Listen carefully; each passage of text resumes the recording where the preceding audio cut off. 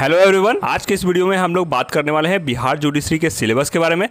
इसका जो पूरा सिलेबस है प्री मेंस और इंटरव्यू वगैरह, जितना भी है, होता है, तीन चरणों में होता है, मैं बता दूँ। और इसका जो है सिलेबस में क्या क्या सब्जेक्ट होंगे, और कितने मार्क्स का होंगे, कितना जो है वो आपको समय मिलेगा तो पूरी चर्चा यहाँ पर करूँगा। तो वीडियो को शुरू करते हैं।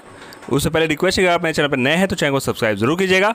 इस पर जो है निरंतर जो है लॉस रिलेटेड मैं वीडियो अपलोड करते रहूँगा। चलिए जैसे कि मैंने आपको बताया कि बिहार जुडिशरी में जो है वो आपका तीन चरण में एग्ज़ाम होता है प्री मेंस और इंटरव्यू तो प्री में क्या होता है, मैं आपको बता दूँ। चलिए प्री में आ जाते हैं हम लोग। प्री में मैं बता दूँ कि यहाँ पे जो है वो आपका दो पेपर होता है पेपर वन और पेपर टू पेपर वन में जो होता है आपका 100 मार्क्स का होता है, जैसे कि आप लोग स्क्रीन पे देख रहे होंगे। दो घंटे का समय दिया जाता है, जिसमें कि आपको जीके जनरल नॉलेज और जनरल साइंस से जुड़े हुए प्रश्न होते हैं। वहीं पे सेकंड पेपर में जो है वो आपका 150 मार्क्स का होता है। वहाँ पे जो है वो आपको दो घंटे का समय मिलेगा।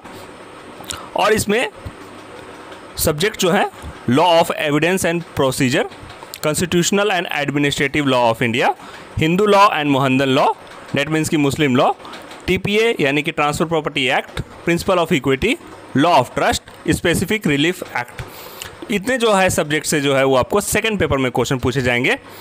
और ये जो है आपको क्वालिफाई करने के बाद आपको जो है वो मेंस का पेपर देना होगा। तो मेंस का पेपर में जो है वो मैं आपको बता दूँ, जो कंपलसरी सब्जेक्ट होते हैं तो यहाँ पे हम लोग बात कर लेते हैं आपका। कंपलसरी सब्जेक्ट में है जो है आपका पेपर वन में जीके एंड करेंट अफेयर्स जो है आपका डेढ़ सौ मार्क्स का। सेकेंड में एलिमेंट्री जनरल साइंस जो कि है आपका हंड्रेड मार्क्स का। जनरल हिंदी सौ मार्क्स का और जनरल इंग्लिश सौ मार्क्स का। तो यहाँ पे मैं आपको बता दूँ कि ये जो दो विषय हैं जनरल हिंदी और जनरल इंग्लिश क्वालिफाइंग है, इसके जो मार्क्स हैं वो आपको ऐड नहीं होंगे।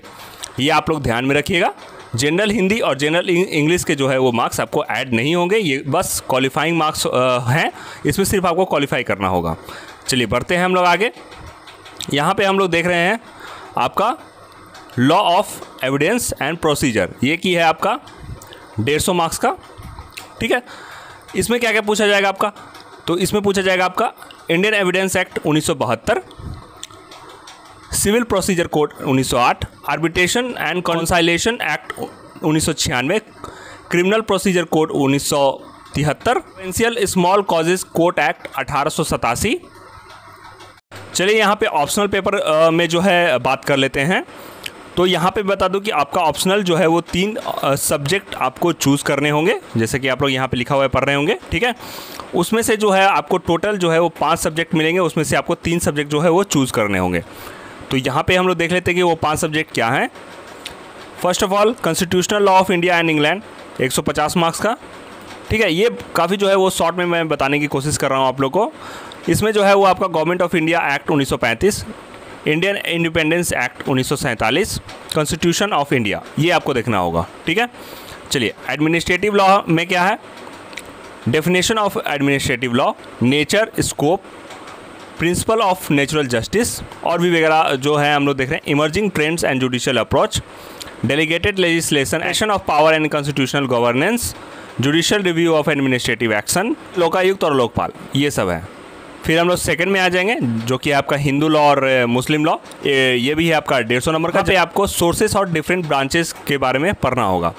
तीसरा जो आपका ऑप्शनल है डेढ़ सौ मार्क्स का T P A that means की transfer transfer of property act इसमें क्या पढ़ना होगा? Principle of equity law of trust specific relief act चौथा जो है वो Indian contract act and law of torts डेढ़ सौ मार्क्स का और पाँचवा जो है वो अंतिम कमर्शियल लॉ है, डेढ़ सौ नंबर का। इसमें क्या है आपका? Sales and goods act 1930 NI negotiable instrument अठारह सौ इक्यासी company law Indian partnership act 1932 इसमें से जो मैंने आपको पाँच सब्जेक्ट बताए, इसमें से जो है आपको तीन सब्जेक्ट चुनने होंगे। एट द टाइम ऑफ़ जो आप फॉर्म फिलअप करोगे तो।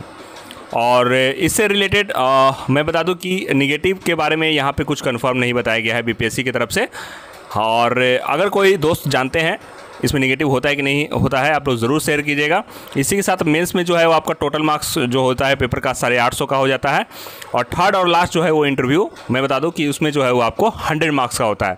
और उसमें उसमें जो है वो आपको थर्टी परसेंट जो है मार्क्स लाना ही पड़ता है। अगर थर्टी परसेंट से कम लाएँगे तो आप डिस्कवालीफाई हो जाएँगे। तो ये आप लोग ध्यान में रखिएगा।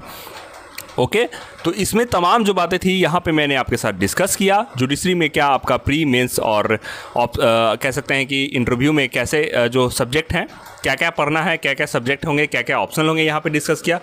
इसके बाद भी अगर आपको कोई कन्फ्यूज़न है कोई सवाल है तो नीचे पूछ सकते हैं। आज के लिए इतना रखता हूँ। तो मिलते हैं नेक्स्ट वीडियो में। Bye bye see in the next one